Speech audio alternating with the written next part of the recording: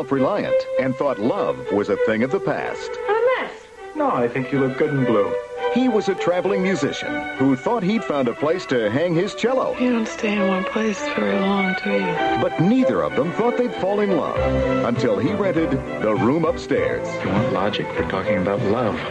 Stockard Channing and Sam Waterston star in a Hallmark Hall of Fame presentation, The Room Upstairs, next week on CBS.